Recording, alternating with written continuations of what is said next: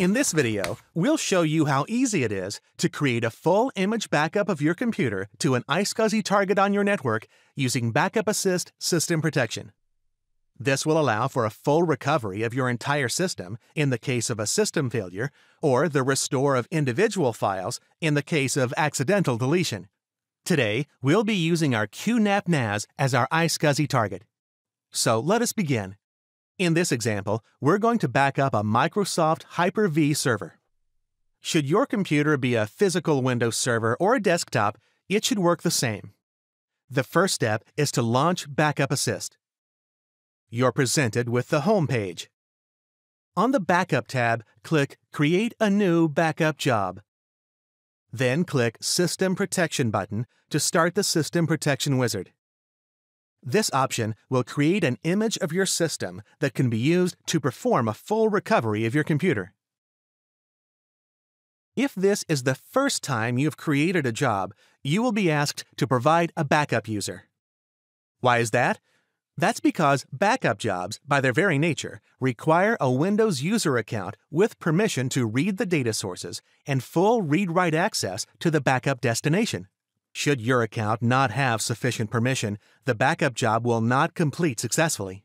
I've already got an account called Administrator set up, so I'll just fill it in. If you don't have a backup user and you're more interested to complete this setup process, select Use your local system login, which just uses a built-in system account. Just bear in mind, it normally has restricted permissions levels, which could cause your backups to fail click the Next button to verify that your backup user identity works. Click the OK button to complete. Remember to select Critical Volumes because it is required for a bare metal backup. A bare metal backup can be used to recover your computer after hardware has been replaced or an operating system failure has occurred and your computer can no longer start itself. There is also the option to back up other data volumes.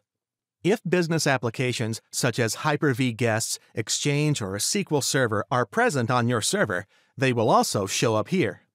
We'll use the default and recommended Full VSS mode and click Next. Click on the iSCSI icon. The Data Container option is not recommended for iSCSI targets. Click the Next button. You will need to select the scheme that best fits your needs.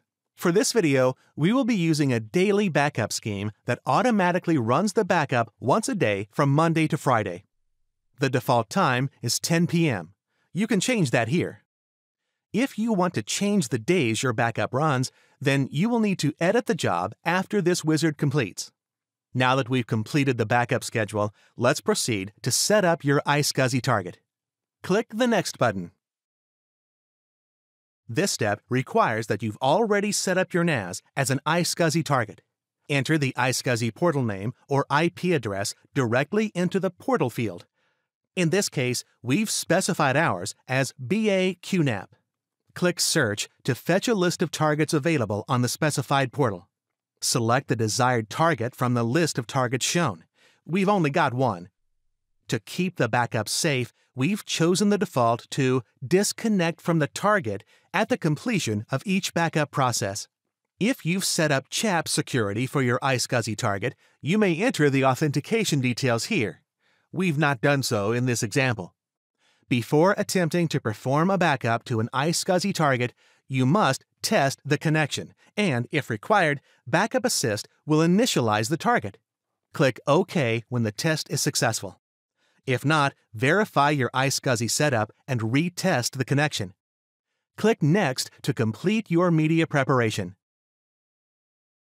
Give the job a meaningful name.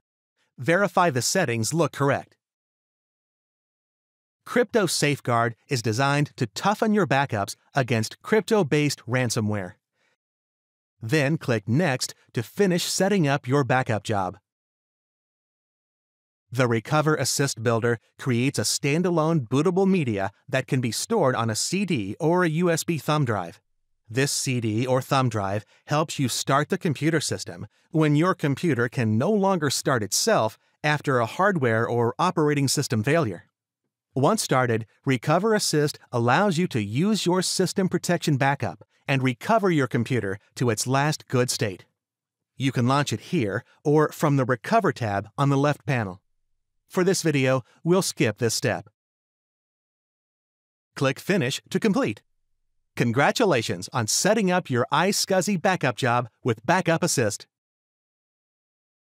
You have now successfully created your system protection backup to an iSCSI target. If you have any questions, please email support at backupassist.com or visit our online help portal. Thank you for watching this BackupAssist instructional video.